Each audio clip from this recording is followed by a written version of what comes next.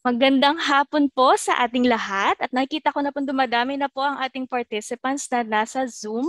Maraming salamat po sa inyong pong pag-join sa aming selebrasyon ng 70 years. Pinamagatan po itong Upholding the Mandates, Breaking Science Frontiers for a Gender Inclusive and Disaster Resilient Philippines.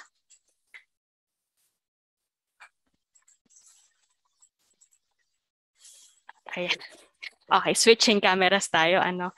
Ayan. So, 70 years ago today, kayo po ang una naming participants po sa celebration namin. Ano? Tinayo po ang DOST FIVOX as review, COMVOL, hindi po ba? Yung Commission on Volcanology dahil po sa pagputok ng bulkang Hibok-Hibok nung nakaraang pong taon niya or 1951.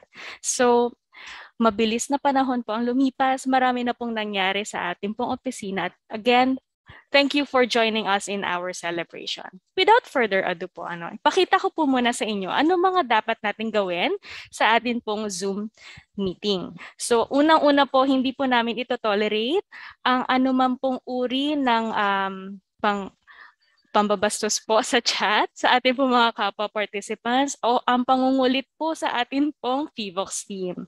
Yan, tayo po ay magbigay ng respeto po sa isa't isa all throughout po ng ating infobit.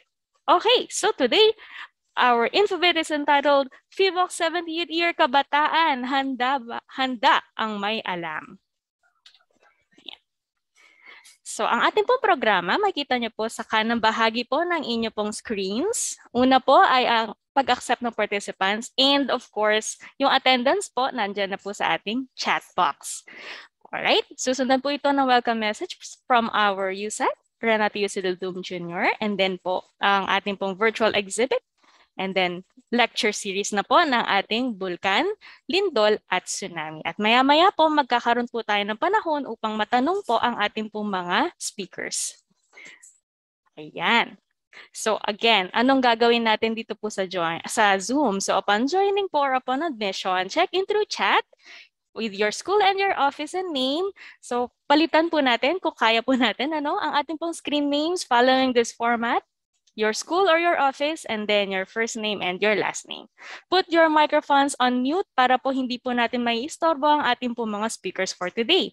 Unless you are acknowledged to speak po during our question and answer portion. Turn on your cameras po if your internet connection permits as some speakers would like to see po ang ating po mga participants.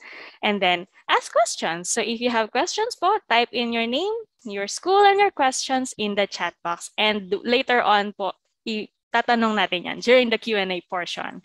Okay, please note that the webinar is being recorded for knowledge management. How do we mute microphones? Mabilisan lang po. Sa ngayon, sure naman po akong alam na po nating lahat. Click lang po sa microphone icon and then mute. Okay, kung hindi nyo naririnig, um, sa kanang bahagi po ng ating pong screens, ayan. So, i-click lang po, select the speaker and adjust your volume. Usually po mahina yung volume na natatanggap. You have to adjust po yung volume na meron kayo and the speaker na ginagamit po ninyo. Turning on cameras, just click on the video cam, um, icon. And then, paano po magkakaroon ng virtual background? You click on yung maliit na arrow, tapos pumili po kayo ng picture na gusto niyo pong gamitin. Malakas po itong sumagap ng uh, internet connection. So, kung hindi po kaya, mabagal ang internet, wag na po tayo mag-virtual background. Alright. Issues on display, nagkakaroon po ng konting issue with the Zoom. So, sign out of it and then sign back in. And kayo naman po ay automatically naman nang ma-admit sa ating pong Zoom meeting. Changing screen names. Sabi ko po kanina, palitan po natin ang ating mga pangalan na naka-flash po sa ating Zoom screen name para po mas makilala po namin sino nga ba mga kasama namin ngayong hapon. So meron po tayong format na susundin, school or office, and then your first name and your last name. Yan. So paano yun? Click on participants. Tapos yung pangalan nyo po ang pipiliin nyo para mapalitan po natin. Then click rename and then follow the format. All right. So attendance po, we have our QR uh, code here, pero the links are already posted sa atin pong chat box. So click on the links in the Zoom chat box para po sa ating attendance. Sa magtatanong, may certificate po ba kami? Meron po. Pero ibibigay po namin po two weeks after the event. All right? Ayan. So, Without further ado po, let us give the virtual floor to Dr. Renato U. Suludum Jr., the Undersecretary of the Department of Science and Technology and the OIC of FIVOX. Sir Rene, the floor is yours. Marami pong salamat.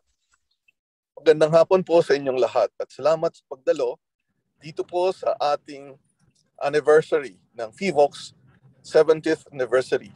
Nabanggit kanina na ang uh, ay nagsimula as Commission on Volcanology. At ito'y naitatag dahil sa pagsabog ng bulkang hibok-hibok sa Tamigin Island sa Mindanao. Hindi lang mga pagsabog ng bulkan ang ating kailangang paghandaan. Madalas ding magkaroon ng mga paglindol, pagkakaroon ng tsunami, mga landslide, at syempre, pagdaan ng mga bagyo. Kailangan nating paghandaan ito. Isa sa pinaka-vulnerableng sektor ng ating lipunan ay ang mga kabataan. Una na, dahil sila ay bata, wala silang masyadong experience o naranasang mga geologic and hydrometeorologic hazards na pwedeng maging aral nila upang gawin ang tamang paghahanda dito sa iba't ibang lugar sa Pilipinas. Kailangan din nating masigurado na ang mga kabataan ay matuto upang magkaroon din sila ng pagpapaliwanag no pag uh, papaalala sa iba pang mga kasama sa mga bahay tulad ng mga magulang at kanilang mga kaibigan upang maitama kung may mali o di kaya ay matutunan ng tamang paghahanda bago, habang at pagtapos ng isang lindol, pagsabog ng bulkan, tsunami at iba pang mga panganib. Kaya ako'y nagagalak, kayo'y nandirito upang matutunan. Ito ay panimula lamang magbibigay po sa inyo ang ating mga kasamahan sa FIVOX ng mga kakaunting mga paalala pero ito'y mahalaga. Kaya nga, Infobit, hindi po talaga tayo pwedeng gumugol ng napakahabang panahon. Ito po ang ating ibibigay ay mga importanteng mga guidance, mga suggestions kung paano tayo mas magiging ligtas. Kaya po, makinig po tayo mabuti. Pagkatapos po nito, uh, alam sa iba't ibang mga kasama natin kung ano ang dapat gagawin para mas maging ligtas po tayo. Maraming pong salamat sa inyong lahat. Maraming maraming salamat po sir for joining us today then po. And again to our participants po na nandito, again we are cel- kayo po unang participants namin sa celebration po namin. So we are honored din po na kayo ay kasama namin ngayong hapon. Okay, let me just share my screen po. Matapos makapagbigay ng welcome message ng amin pong pinuno, tayo po ay susunod sa ating pong Vivox Virtual Exhibit Walkthrough. Yung iba po excited para dito, ibibigay po natin ito to Ms. Charmaine V. Villamil, who is a Senior Science Research Specialist of the Geologic Disaster Awareness and Preparedness Division from the UST FIVOX. Just a bit introduction po. She took up PS Geology po in the University of the Philippines, Diliman, and her MS in Development Communication from the University of the Philippines, Los Baños. Her interests include geoscience, DOR communication, DOR planning, and training module development. That us all give heart reactions naman po to Mom Charmaine. Thank you, Laika. Ako ba ay rinig? Clear po. Clear. Okay. Thank you very much. So, good afternoon, everyone. So, This afternoon, we will have a tour of the FIVOX exhibit and some other facilities that we have here in Quezon City. Pero bago ko magsimula, tanungin ko kayo, alam niyo ba yung VR? Sino sa inyo nakakaalam ng VR? Ay, type nyo nga kung anong ibig sabihin ng VR. Kung anong alam nyo, virtual reality. Ayan. Sino sa inyo nakaranas na or nakagamit na nito? Yan. Uh, siguro thumbs up. Yung gumagamit ng VR, uh, ah, pwedeng maglaro or pwedeng matuto, ginagamit sa school para ma- mag-aral or matuto ng mga lessons. Ayan. So may mga ilan na ang gumagamit nito. Okay. Ngayong hapon, um, we are going to have a tour of our FIVOX facilities. As I have said, uh, it is located in Quezon City. And let me now start my presentation.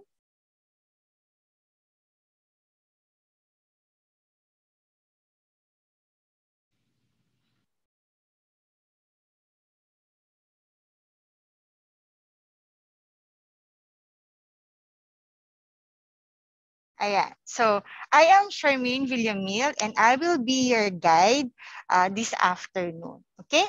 So, let me give you a walkthrough of the FIVOX virtual exhibit. Um,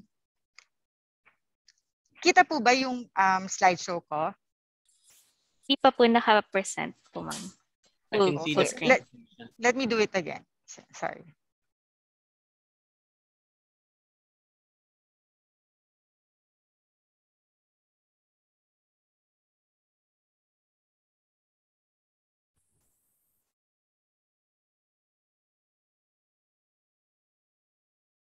Ito.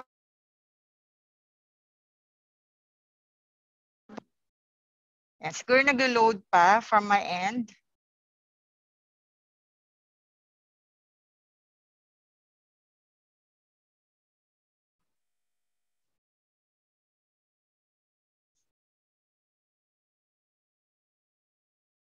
Miss Lucy, kita na?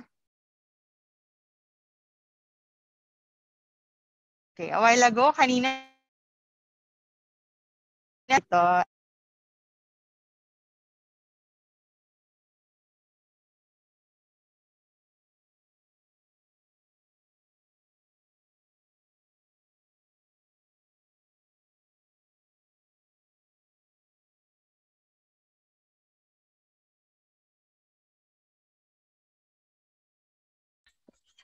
Hello. Hello po. Good afternoon po sa lahat. Nagkakaroon lang po tayo ng alam nyo na po ito, internet connection issues po natin. Ano po. Pero, habang po inaantay po natin si Ma'am Charmaine, gusto ko lamang pong kabustahin ang ating pong mga kasama. Ayan. Nakapag-attendance sheet na po ba tayo? Please post po ang ating attendance sheet po sa ating chat box para po sa mga ah, bago po nating pasok na participants. Ayan, yes po. Alam nyo po, naalala ko lang na yung mga disiplina na meron tayo kapag first row, ano, sa mga classrooms, really, we were expecting po na mas marami pa po tayong kasama ngayon. At medyo na, nakikita naman po namin, dumadagdag pa po tayo. So, yung attendance po importante.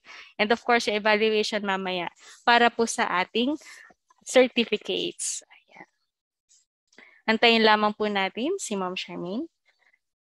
Again po, yung mga tanong po natin ay mamaya pa po ah, sa Q&A portion. So, pero pwede po kayo maglagay ng mga questions ninyo po habang nagdi-discuss po yung ating mga part- ah, mga speakers. Ayan. At hindi po kami nangangain. Pwede lang po kayo magtanong po ng lahat ng pwede niyong itanong. Ayan. Again, we are DOST Volks po. May nauna na pong nagtanong. Please, anything po related to volcano, earthquake, and tsunami, we can answer. Ayan. Thank you po. All right. Ma'am Charmaine?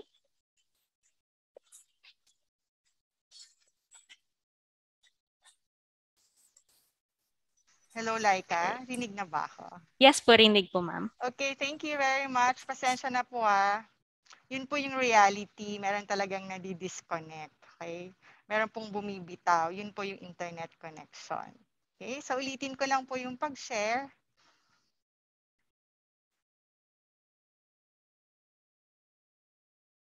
Ayan, kita na po ba? Ayan, better po, ma'am. Okay, so thank you very much, Laika, for uh, doing the ad-lib. Okay, so as, I was, as I've said, ako ay si Charmaine Villamil and I will be your tour guide this afternoon. Okay, so dun po sa aming virtual exhibit or sa virtual tour, una nyo makikita yung aerial view of FIVOX building.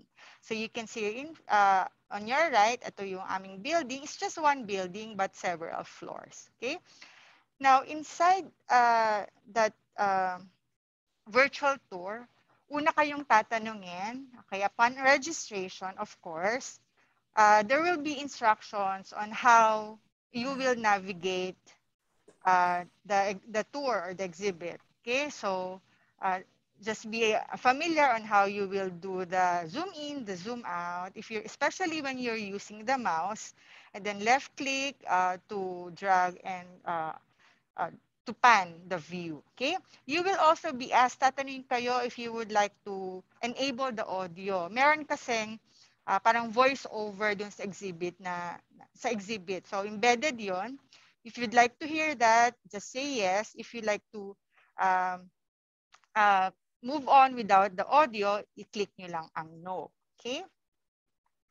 Now, uh, after the aerial view, uh, you can proceed dun sa facade ng building or the front of the building. Okay? So, the first thing that you would see on the left portion of the facade or the, the page of the facade, nandyan yung earthquake simulator namin. Okay?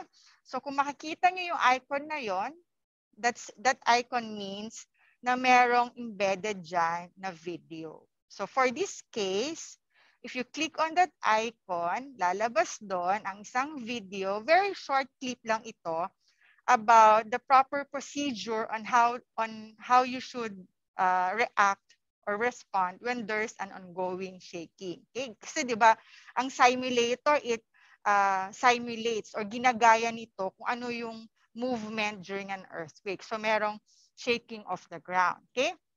So when you feel that shaking of the ground, ang proper procedure is the drop, cover, and hold. So pinapakita ng mga models natin on how drop, cover, and hold procedure is being done. Okay.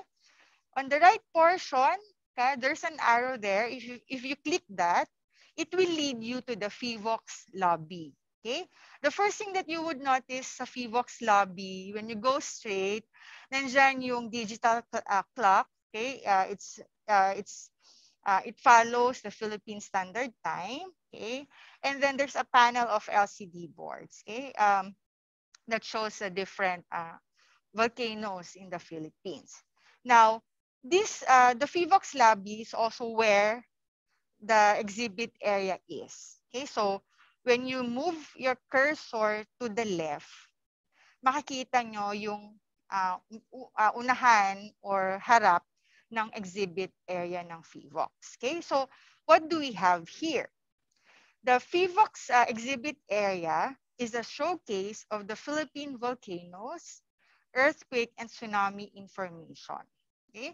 The first panel that you would see, now if you click this, yung arrow sa kaliwa, okay, if you click the circle dun sa floor, it will zoom into this panel. Okay? This panel will show a collage of the different FIVOX activities we, that we are doing from monitoring, from uh, doing capacity building to different stakeholders like drills and seminars, and also uh, different um, uh, different activities, even field works